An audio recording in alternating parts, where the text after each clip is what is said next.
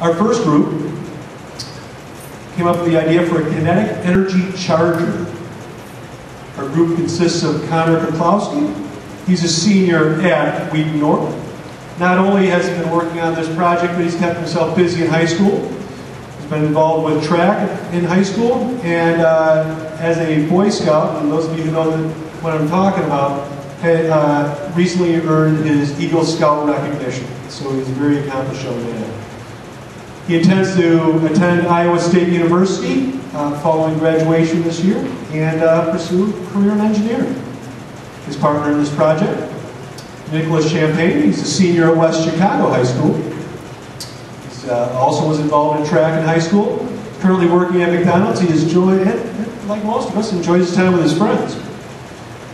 He plans to attend COD at the, uh, in the fall and he plans to transfer to Iowa State University and get involved with electrical engineering. This guy's are really excited about the project. I am as well. And uh, I'm going to turn it over to Nick and Connor.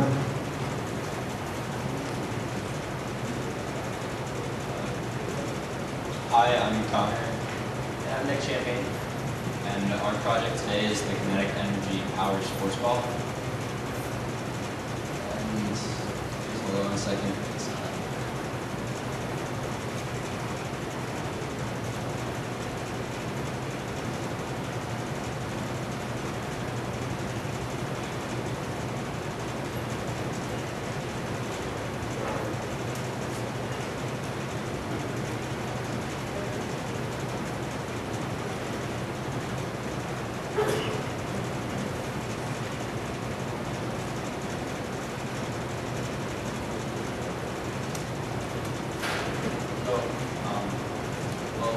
wanted to do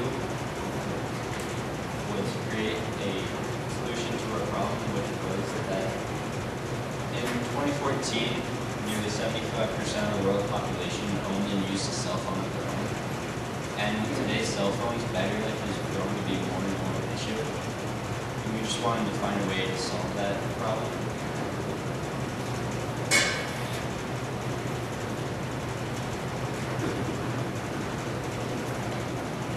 So we conducted a survey of 45 people uh, consisting of uh, 20 students and 25 faculty here at TCD. And we came up with the results that most people charge their phone at least three night.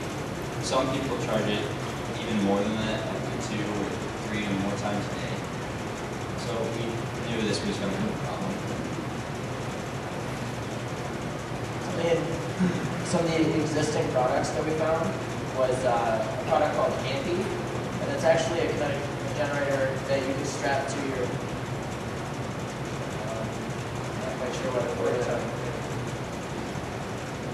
Uh, there's actually photos, but um, uh, it's a kinetic generator that you strap on your arm, and then as you're like running or playing sports or anything, it'll generate electricity, and then afterwards you can plug it into your phone. And then another one we found was a magic charger, which is actually a Rubik's Cube. And while you're playing it, it's uh, the twisting motions will generate electricity. And um, it just, uh, it actually, I don't believe that the magic charger was actually produced, but uh, the Ampy was in production and planned on being for sale eventually. But it wasn't until um, didn't start uh, uh, planning until recently. And then, uh, so our prior solutions were, uh, or some solutions that we also found were the electrical, electric powered bicycle, which is basically a bicycle with a kinetic generator on the wheel, and as it spins, it creates electricity. And then our idea was the kinetic uh, Powerball. We compared all four uh, ideas, including a battery pack, which is like a standard thing that you just carry around, um, to these criteria. One of them was it has to be easy to charge. All of them we found were easy to charge. Uh, and then another one was that it had to have no outlet required, and the only one that did not pass that was the battery pack, because that requires an outlet. And then another one is the device, the device should be lightweight The bike was not lightweight because it's an entire bike. And then our last, our last uh, idea, or our last criteria was the battery storage. Uh, the bike does not have a battery storage. It only charges your phone while you're riding. So it doesn't actually store any energy. It just charges as you're going. Um, here's just your view of our design criteria. And that's the four things that Nick just mentioned.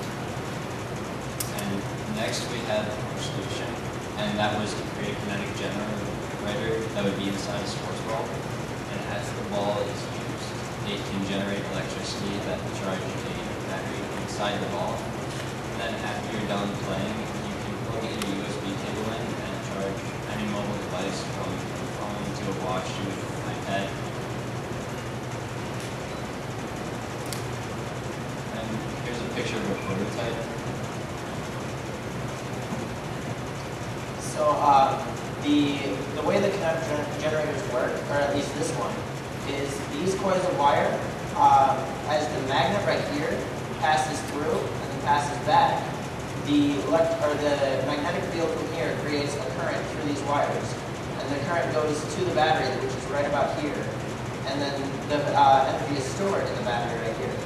And then this board that's just kind of sticking out right there is actually a voltage amplifier because the battery that we have is basically a double A, and double A's don't have enough voltage to charge a, a phone. So we had to have a voltage uh, amplifier so that way uh, the phone can actually receive the charge. So our next problem was trying to figure out what kind of ball we should use for our prototype. So we added another question into our survey, asking people what their favorite sport was. And we found a variety of results, but football stood out the most. And out of 45 people, 16 said football was their favorite sport. So we decided to put our generator in a football. So our uh, finished product uh, is actually just inside the football, and the football is just designed as a uh, you uh, when you're throwing it, it generates electricity from the motion of the magnet moving backward, and then when you catch it, it'll stop, so the magnet will keep going and generate even more energy. And then when you're running with it, you're generating energy while you're running.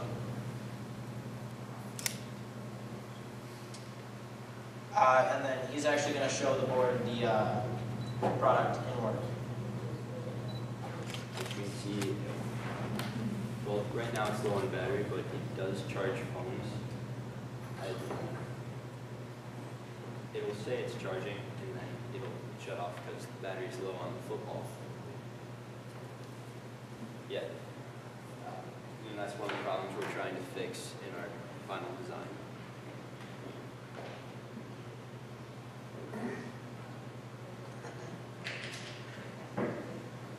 So he had a design process that was a little different from what most people here did. And we took two products that already existed and reversed engineering engineered them, which is taking them apart and trying to find uh,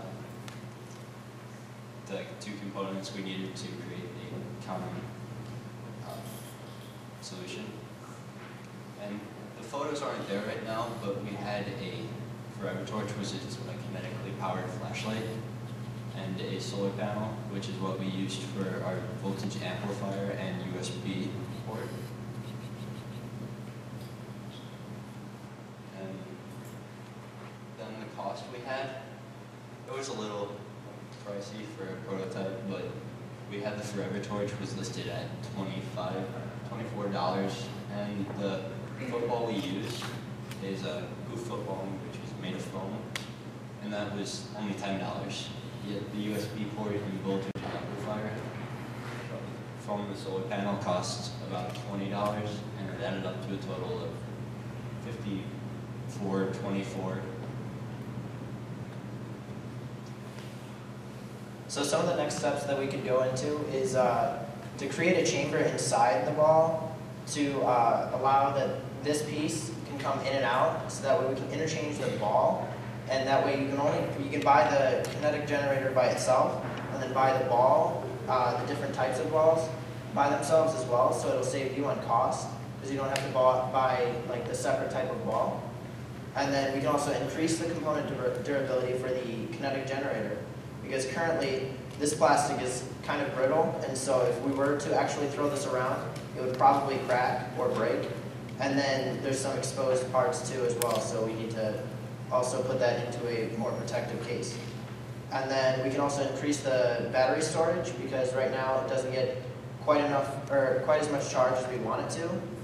Um, and then we can also increase the voltage output, so we don't need to uh, have a separate um, component from uh, the USB port um, from the uh, solar panel.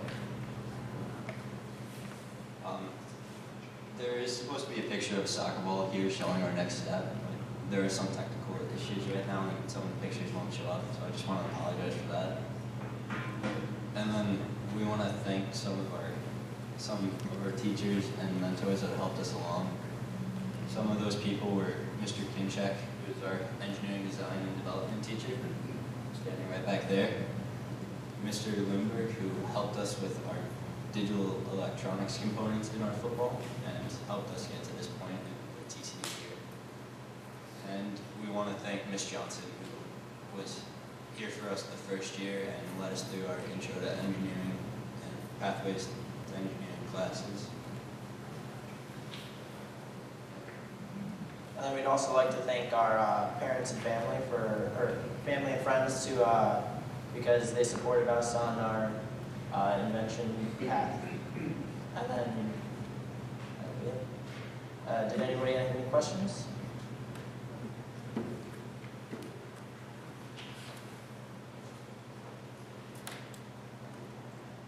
Hey, um, how long do you have to play to get a decent charge?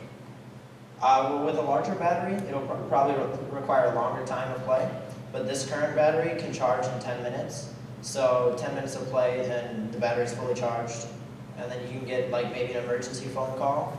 Uh, so like you can just play some football or throw the ball around when uh, if you're like stranded or something and your phone is dead. So, but a larger battery would, of course, require longer time. Curious, how did you pick the uh, kinetic charger as uh, the prime means of generating uh, voltage? Well, we were kind of uh, influenced by last year's project, which was a kinetic generator in the shoe, and we wanted to take a unique approach on that.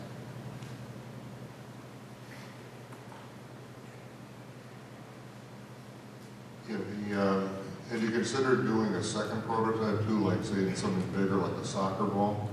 Uh, yeah, as soon as, if we, first we have to shrink this, the uh, inside part, Yeah. and then, of course, add the protective case around the uh, circuit board sticking out right there. Mm-hmm.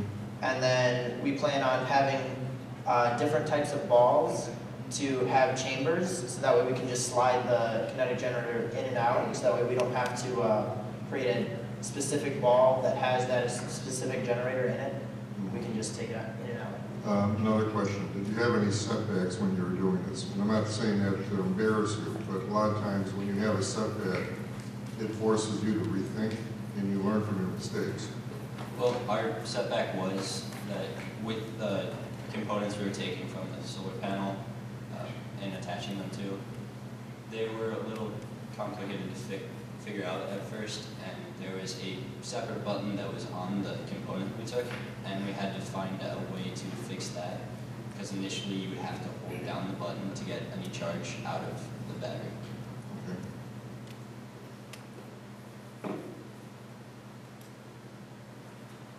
Were you, were you able to measure how much charge the boat took? Um, I think we got like one or two percent. It's about if we were to plug it into a phone, it take or it would charge for about five ten minutes, and then the battery would run out. Um, but for a ten minute charge time and you get ten minutes of charge, I think that's a reasonable amount for the size of battery that we have. But of course, we always want to increase the battery size because currently it's not as big as we want. I have a basic question. Uh, When, when you talk about the scientific method, how, how does that relate to what, what you guys did here? You guys did a really great job on this, by the way, I just want to say. But uh, what did you learn from that? What, when, when, how would you sum up what you think the scientific method is for this project? Um, well, our first hypothesis, is that the battery would actually provide enough charge to, uh, or voltage to charge the phone. And obviously that was wrong, that's why we had to get the solar panel. And then our initial tests were, uh, some components that we had were actually just kind of laying around, they weren't actually adding anything. So we had to, uh, cut those down, um, and that shrunk our little circuit board on the end here. And then, um, uh, later tests, we found how to fix the button as well, and then uh, some circuit changes that we made